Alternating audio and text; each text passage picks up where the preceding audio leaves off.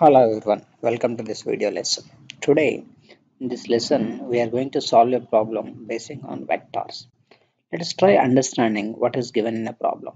It is given that a boy is hanging from a horizontal branch of a tree. So there is a tree, something like this. The tree branch is horizontal and a boy with his hands hanging like this. This is what the boy is right?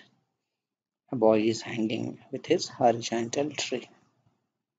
This is how the boy is. Now I want to calculate what is the tension in the arms of the boy will be when the arms for what angle tension in the arms will be maximum. What shall be the angle between these two hands of this boy hand one and hand two so that tension between them is maximum. That's the question. Let's try to understand first of all why there is a tension.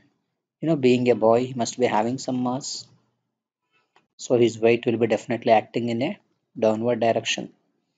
That makes his hands tight. That generates the tension his uh, hand in his hands.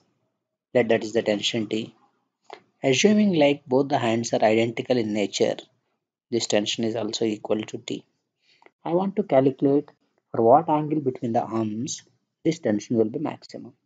Now let us assume the angle between the two hands is uh, some value theta, 2 theta otherwise, then this angle becomes an angle theta. Now I can resolve this tension into components because this tension is a vector, always acts towards the point of suspension. I can resolve this tension into components now. You can see the adjacent component will become automatically t cos theta and the opposite component to the theta will become t sin theta.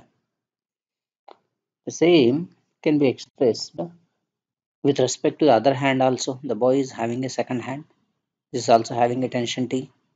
This angle is also theta so that the total angle between the two hands is 2 theta. So this t also can be resolved into components. There will be another t cos theta in upward, another t sin theta in the horizontal direction.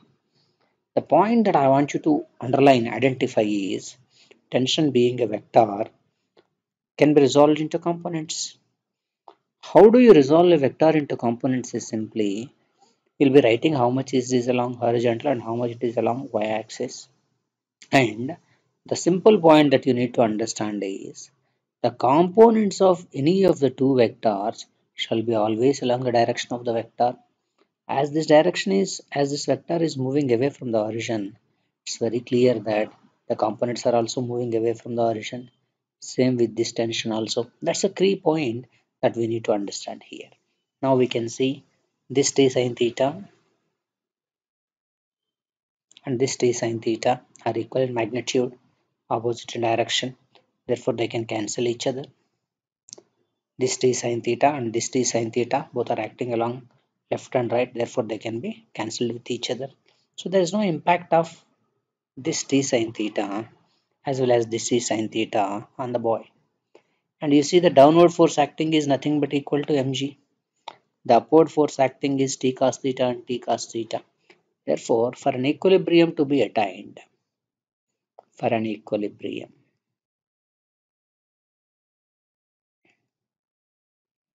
We can write the effective force acting in upward direction is the effective force acting in downward direction. The effective force acting in upward direction is 2t cos theta.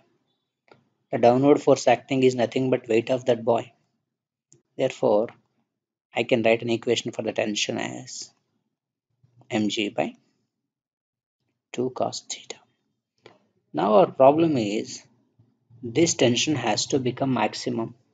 It's very clear from the basic understanding that this tension will be maximum if suppose the string is tight, the hand is tight and that will be equal to mg itself.